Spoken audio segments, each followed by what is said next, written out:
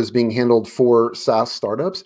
Uh, you know, the outsourcing has a bad rep because a lot of outsourcing locations are, are sort of like, um, you know, sweat camp type atmospheres and just really deliver a low level of, of support. And I think we're seeing a shift from that to, to companies that are are more interested in providing a higher level of support. And it was interesting that Dave and I, like, we had this experience working with uh, another outsourced company that provided per response agents. And basically, the idea is one agent would work across five or six different clients, and we just got a really low level of support. So we thought, gosh, like, how can we do this better and provide a higher level of support uh, at, a, at a reasonable rate? And that's really what's the genesis of, of xFusion. And, and we've been just so grateful to see that so many of our clients are are in alignment with the idea of providing next level customer experience to their customers. That's just been a, a real win.